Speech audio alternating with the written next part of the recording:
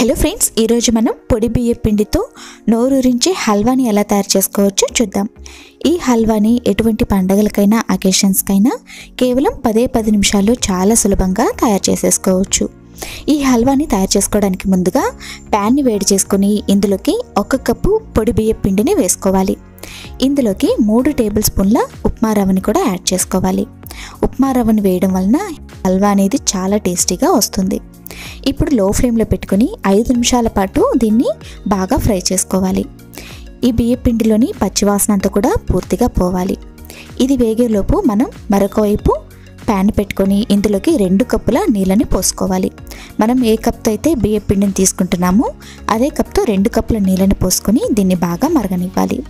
ఇక్కడ మనకి బియ్య పిండి కూడా బాగా ఫ్రై అయిపోయి ఉంటుంది. ఇప్పుడు మనం మరుగుతున్నటువంటి నీళ్ళని ఇందులోకి కాస్తంత యాడ్ చేసుకోవాలి. నీళ్ళనంతటిని ఒకేసారి పోసేయకుండా ముందు కాస్త పోసుకున్న తర్వాత బాగా కలుపుకోవాలి. బియ్యపిండి అనేది నీళ్ళని బాగా పీల్చుకుంటుంది కాబట్టి ముందుగా కాస్తంత పోసుకొని మిగతా సగం తర్వాత యాడ్ చేసుకోవాలి. ఈ విధంగా బియ్యపిండి అనేది నీళ్ళనంతటిని కూడా బాగా పీల్చేసుకున్న తర్వాత మిగిలినటువంటి వేడి నీళ్ళని ఇందులోకి పోసేసుకోవాలి.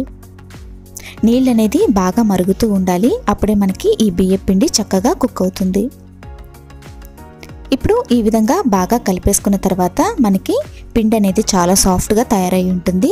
ఇప్పుడు ఇందులోకి బెల్లాన్ని యాడ్ చేసుకోవాలి. ఇక్కడ నేను బెల్లాన్ని తురుముకొని ఒకటిన్నర కప్పుల వరకు యాడ్ చేస్తున్నాను. అలాగే రెండు యాలకుల్ని కూడా బాగా దంచుకొని ఇందులోకి వేసుకొని ఈ బెల్లం తురుము మొత్తం పూర్తిగా ఈ పిండిలోకి కలిసిపోయే విధంగా కలుపుకోవాలి. ఇప్పుడు బెల్లం మొత్తం పిండిలోకి బాగా కలిసిపోయిన తర్వాత ఇందులోకి ఒక టేబుల్ స్పూన్ నెయ్యిని యాడ్ చేసుకోవాలి. మనం ముందు ఇక్కడ నెయ్యిని యాడ్ చేయలేదు. ఇప్పుడు ఒక టేబుల్ స్పూన్ నెయ్యిని యాడ్ చేసుకొని బాగా కలుపుకోవాలి. ఇందులో కనుక ఉండలు ఉన్నట్లయితే స్పాచులతో ఆ ఉండలు మొత్తాన్ని నీట్గా ప్రెస్ చేసుకుంటూ మనం బాగా కలిపేసుకోవాలి. మనకి ఈ హల్వా అనేది కేవలం పదే పది నిమిషాల్లో చాలా ఈజీగా తయారు చేసేసుకోవచ్చు. మీరు కావాలంటే తడి బియ్య పిండితో కూడా ఈ హల్వాని తయారు చేసుకోవచ్చు. మనకి ఇది కేవలం పదే పది నిమిషాల్లో తయారవుతుంది. ఈ విధంగా ఉండలన్నింటినీ కూడా బాగా ప్రెస్ చేసుకున్న తర్వాత ఒక బౌల్లోకి తీసుకుని నేతిలో ఫ్రై చేసుకున్నటువంటి కాజు బాదంని యాడ్ చేసుకుంటే ఎంతో రుచికరంగా ఉండేటువంటి బియ్యపిండి హల్వా అనేది రెడీ అయినట్లే. మనం ఈ బియ్యపిండి హల్వాని ఎటువంటి పండగలకైనా సరే నైవేద్యంగా తయారు చేసి దేవునికి సమర్పించవచ్చు. అంతే ఫ్రెండ్స్ మీకు కనుక ఈ బియ్యపిండి హల్వా రెసిపీ నచ్చినట్లయితే మీరు కూడా ఒకసారి తప్పకుండా ట్రై చేయండి.